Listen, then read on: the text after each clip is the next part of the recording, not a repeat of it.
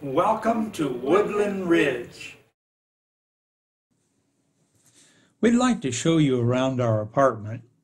And so uh, we enter, and to the left is the kitchen, which has been completely remodeled. All cabinets and appliances uh, have been changed, with the exception of the refrigerator and range, which are being held up because of appliance shortages due to COVID.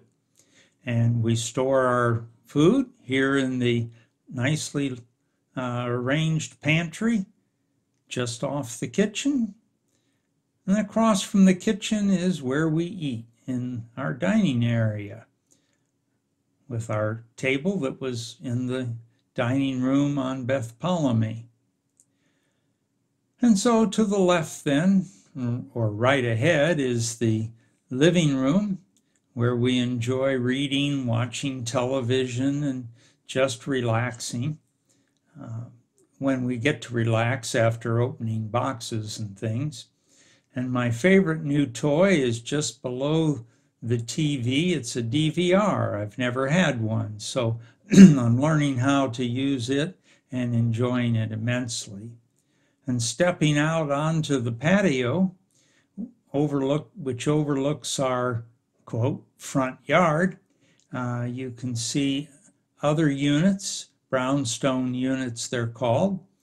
Uh, to our left is the entrance just below us, and across the lawns and the beautiful pond that we can see.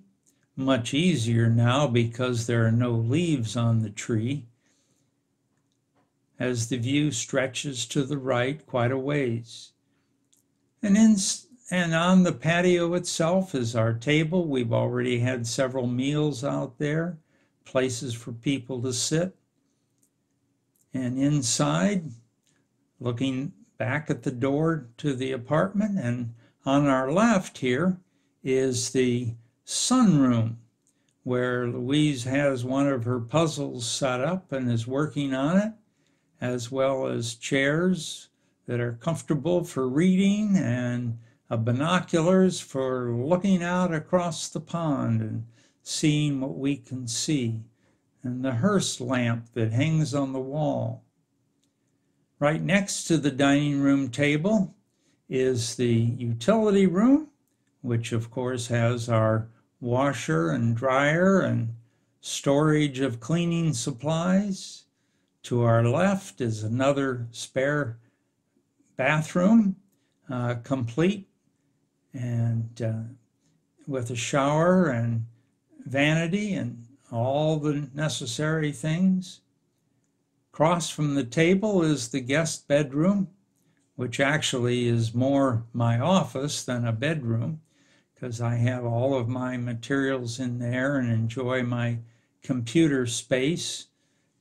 But there's room for guests if you wish to come when we're COVID free, of course my work area and in the back you can see a door to the left which is a large walk-in closet which is not yet ready for prime time. And across the way is our bedroom with all the things in it that were in the bedroom back at Beth Polomey. So it's very familiar to us and quite, quite comfortable. And leads right into the open area where there's a vanity, large mirror, which is enjoyable. And across from that is uh, the master bathroom,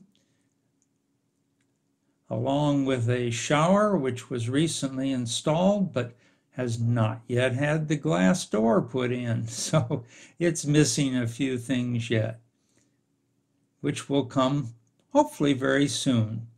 And the last room is our walk-in closet, which we enjoy. And of course, to the right, it leads nowhere. So why don't we step outside and look at the front of our brownstone building, as it's called. And right above the flag is our patio. And the rest of the building leads then to other buildings to the right. There are five in this complex.